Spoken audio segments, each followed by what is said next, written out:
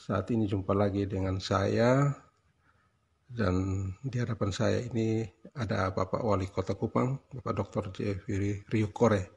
Selamat pagi Pak. Selamat pagi Pak Obi dan juga selamat pagi Tribuners di mana saja berada, khususnya yang ada di Kota Kupang.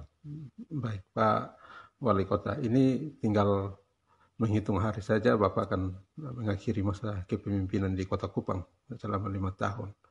Nah, bagaimana kesan Bapak selama lima tahun ini? Ya, terima kasih Pak Obi.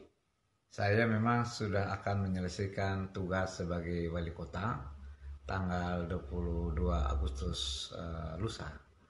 Artinya saya sudah harus menyerahkan tanggung jawab ini kepada pihak lain. Dalam hal ini nanti Pak Cor Sajo yang akan memimpin kota ini. Uh, dan saya pertama-tama